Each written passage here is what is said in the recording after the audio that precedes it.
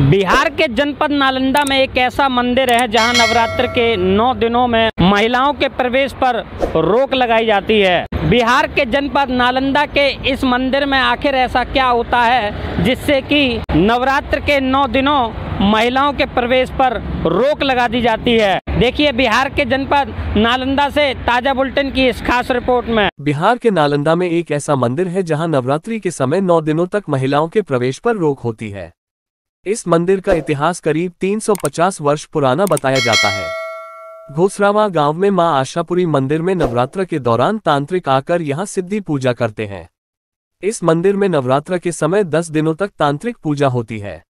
महिलाओं के प्रवेश होने से तांत्रिक का ध्यान भंग न हो जाए, इसलिए नवरात्र के समय महिलाओं का प्रवेश बंद कर दिया जाता है। यह परंपरा आदिकाल से चली आ रही है। नवरात्र के समय कोई महिला मंदिर में प्रवेश नहीं कर सकती है। इसके लिए यहाँ के पुजारी और गाँव वाले पूरी तरह से सतर्क रहते हैं। क्या है इस मंदिर का इतिहास? अब ये भी आपको बताते हैं। स्थानीय लोगों का कहना है कि तकरीबन साढ़े तीन सौ वर्ष पहले यहाँ पर माता की प्रतिमा अचानक प्रकट हुई थी। जब इस बात की जानकारी यहाँ के राजा घोष को मिली तो उन्होंने इसी स्थान पर माता का मंदिर का निर्माण कराया। राजा के द्वारा कराया गया मंदिर निर्माण के कारण इसका नाम घोसरावा गाँव रख दिया गया। मंदिर के निर्माण के बाद लोगों ने पूजा पाठ करना शुरू कर दिया।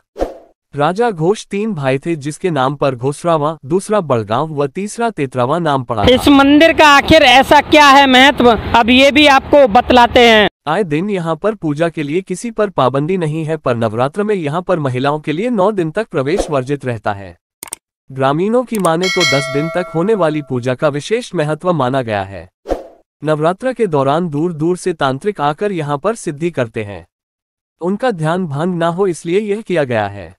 क्या कहते हैं इस मंदिर के पुजारी? अब ये भी जान लीजिए। मंदिर के पुजारी का कहना है कि माँ आशापुरी के आशीर्वाद से घोसरावा पावापुरी व आसपास के सभी गाँवों के लोगों के बीच कोई भी संकट आने से पहले ही टल जाता है। माता की महिमा की जितनी भी प्रशंसा की जाए कम है। जब भी गाँव व आसपास के इलाके में किसी तरह का संकट आता है तो माता के नाम मात्र से ही उसका संकट टल जाता है। नवरात्र के समय घोसरावा मंदिर में बिहार के अलावा कोलकाता, उड़ीसा, मध्य प्रदेश, आसाम, दिल्ली, झारखंड समेत अन्य जगहों से श्रद्धालु पहुंचकर 10 दिनों तक पूजा पाठ करते हैं। इसका कारण ये तांत्रिक मंदिर है। इसलिए महिलाओं का यहाँ नौ दशहरा के जिस दिन जिस दिन से कलश स्थापना होती है ना उस दिन के बाद से महिलाओं का यहाँ प्रवेश निषेध होती है। ये तांत्रिक मंदिर है सिद्धि मंदिर है। क्या होता है यहाँ पे? यहाँ पे बहुत विधि विधान से पूजा पाठ कराया जाता है। ये दस दिन तक कोई महिला कोई स्त्री के प्रवेश नहीं कोई नहीं कोई नहीं चल सकता था अच्छा कितना दिन से चल रहा है ऐसा चीज़? बहुत दिन से कोई हमनी के फूल खाने से आ रहा है। हमनी के फूल खाने के हमनी के कई कई सीढ़ी हो गए पता नहीं चलो।